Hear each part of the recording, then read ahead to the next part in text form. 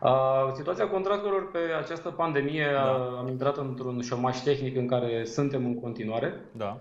Uh, ni s-a transmis de către primăria capitalei că în momentul în care țara va ieși din această stare de alertă, ne vom putea relua contractele în mod normal.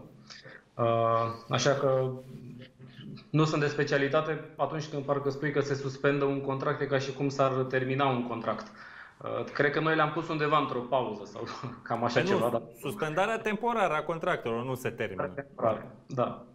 Altfel, toate jucătoarele care au contract cu CSM București au în continuare contract, nu s-a desfăcut niciun contract de muncă, n-a fost niciodată vorba de așa ceva. Dar s-au purtat renegocieri pentru micșorarea salariilor?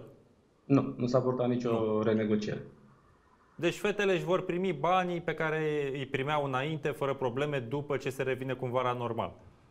Exact ăsta a fost mesajul pe care l-am primit într-o ședință pe care am avut-o la Primăria Generală. Ne-au asigurat uh, de dorința Uh, de a continua la acest nivel în, uh, în competițiile în care ne-am înscris, așa că drumul pe care l-am parcurs până acum, dacă vreți, ne și, ne și obligă să încercăm să fim în elită, pentru că cred că atunci când trec ani, asta este cel mai important, să te menții tot timpul în, în elită și să fii recunoscut uh, ca fiind parte din elită.